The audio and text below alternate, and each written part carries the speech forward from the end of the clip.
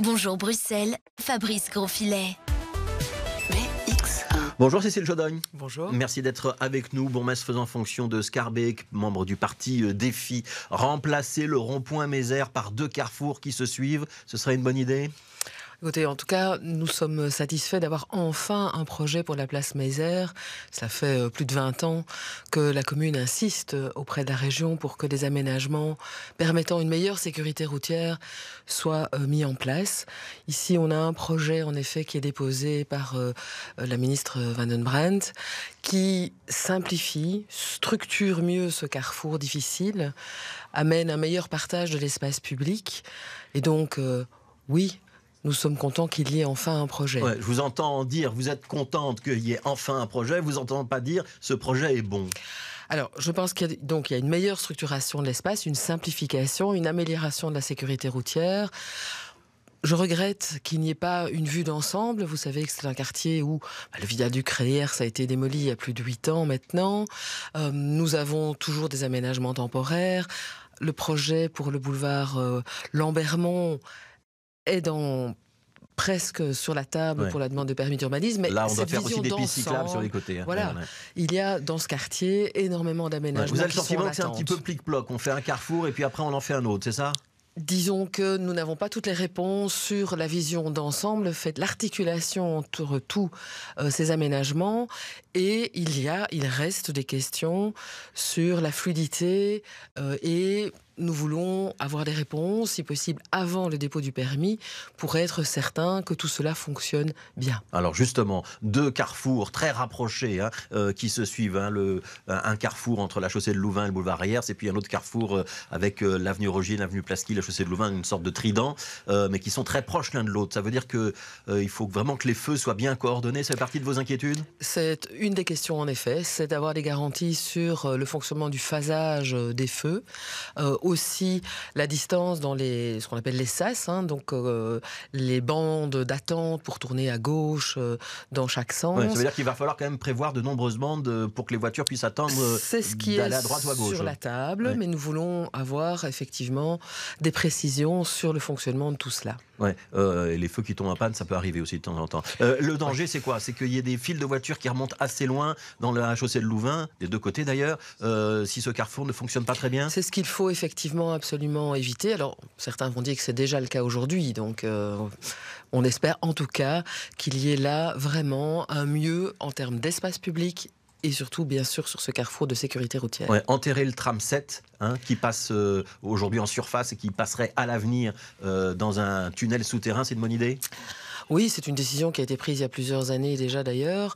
Il y a une époque, on avait parlé d'enterrer le trafic automobile. Ça, on oublie. Mais on enterrerait bien le tram. Hein le trafic automobile, ça fait un petit temps que ça a été effectivement oublié, mais j'insiste, euh, ici, il s'agit d'un permis sur une phase qui est là pour euh, un certain nombre d'années, puisque ce tunnel, on l'attend pas avant une quinzaine d'années. ça veut dire qu'il y aura quand même des années difficiles, toujours au repoint Mézère ou au carrefour Mézère. J'espère que ce sera moins compliqué qu'aujourd'hui et surtout, je le répète, avec une meilleure sécurité routière pour tous les utilisateurs de ce carrefour. donc plus de ronds-points, un petit peu d'espace vert et de la place pour les pistes cyclables sur les côtés. C'est le projet qui est donc déposé par la ministre Van den Brand. Elle espère un permis avant l'été. Si je vous entends bien, vous dites pourquoi pas, mais j'aimerais bien être associé sur les détails avant que le permis soit déposé. C'est ça qu'on doit comprendre? Nous, avons été associés euh, à la réflexion et nous avons d'ailleurs apporté des amendements et des choses que nous souhaitons. Vous avez été entendu ou pas? Parce que souvent, dans les dossiers de mobilité, les communes disent euh, euh, Bruxelles Mobilité et la ministre régionale Mobilité, ils avancent sans nous écouter. Est-ce que c'est quelque chose que vous diriez aussi ce matin ou pas? Non, nous avons été entendus et nous avons été suivis sur certaines demandes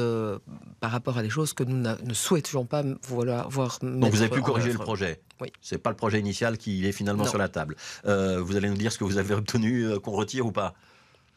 Oh, il y a différentes choses qui ont été euh, obtenues. C'est en vue de pouvoir maintenir l'accessibilité de tous les quartiers. il y a une maille apaisée juste à côté euh, de ce rond-point Mézère. Hein. Ça concerne euh, l'avenue Corbier et puis l'avenue des Azalées, etc. Mhm. Ce quartier-là. Vous craignez que ça ait un impact ou pas? C'est une des questions et c'est aussi une des choses que nous avons obtenues. C'est pour permettre que cela continue à bien fonctionner. Initialement, il y avait une coupure, hein, c'est ça? On ne pouvait plus rejoindre ce quartier, on est obligé de passer par l'avenue Rogier, c'est ça Il y avait Non, l'avenue Cambier reste inaccessible dans le projet de ce, de, ce point de vue-là, mais c'était effectivement aller plus loin encore dans les coupures de l'avenue Roger, de l'avenue Plasky, des choses que nous n'avons pas souhaitées. Donc un permis avant l'été peut-être, une enquête d'utilité publique, c'est-à-dire vous allez soutenir quand même, j'entends que vous soutenez quand même globalement le projet d'Elkemandelbrand. Globalement, on est plutôt euh, confiant. Nous attendons euh, des précisions et quelques euh, réponses. Nous espérons les avoir suffisamment tôt. Et puis, évidemment, il y aura l'enquête publique qui déterminera s'il y a encore d'autres aménagements qui doivent être apportés. Ça veut dire qu'on aura un nouveau Carrefour Mézières dans combien de temps, Cécile Jodogne alors j'entends que la ministre espère pouvoir un démarrage des travaux d'ici un an et demi, donc euh, ce serait évidemment une bonne nouvelle pour ce carrefour compliqué. Alors je voudrais qu'on parle euh, d'autres dossiers. La friche Josafa avec un projet immobilier qui est maintenant euh, très concret. Il a été présenté par le consortium EFAGE qui a remporté mhm. donc le marché, avec notamment l'idée de développer un, bar, un parc urbain. C'est un bon projet ou pas? Alors vraiment, honnêtement, je pense qu'on est arrivé là à un bon équilibre. Donc je pense que c'est un bon projet qui à la fois rencontre euh, les enjeux de biodiversité, la préservation de quasi deux tiers euh, de, la friche. les défenseurs de la friche disent pas ça. Ils disent on va toucher à l'essence même de la biodiversité en s'attaquant aux meilleures zones. Alors, on sait très bien qu'effectivement, il y a des personnes qui ne seront jamais contentes du moindre projet sur cette friche. Euh, nous pensons qu'il y a la nécessité de rencontrer aussi les autres enjeux qu'il y a à Scarbeck et en région bruxelloise, à savoir effectivement de la création du logement, euh, les enjeux en termes de biodiversité, mais surtout aussi de tous les autres défis liés aux enjeux climatiques, que ce soit dans les circuits de l'eau, que ce soit euh, également évidemment dans la performance des bâtiments, sont à un très haut niveau niveau d'exigence dans ce projet. Il y, aura un point, il y aura un des points d'eau, notamment des îlots de fraîcheur. Il y aura les îlots de fraîcheur. Et une verdurisation des immeubles. Il y a une verdurisation. Il y a effectivement aussi euh, l'apport de, de mares, donc euh, des milieux humides qui seront là. Et je l'insiste aussi évidemment en termes de mobilité, d'accessibilité, de performance énergétique des bâtiments. Les critères sont très élevés. Ce sera ouvert au public. Euh, l'intérêt de la commune sur la friche était aussi à terme de bâtir une école sur le site de cette friche Josaphat. C'est toujours d'actualité ou pas C'est bien sûr toujours d'actualité. C'est d'ailleurs la seule chose qui n'était pas remise en cause euh, par euh, une grande majorité des personnes. Donc oui, il y aura une école et d'autres équipements. Mais là, là, le projet doit encore avancer. Il n'est pas encore mûr. Non, non, on travaille déjà euh, à la commune sur, sur le projet on y refait maintenant des aménagements en fonction. donc ça viendra à côté des immeubles qui ont déjà été annoncés et présentés.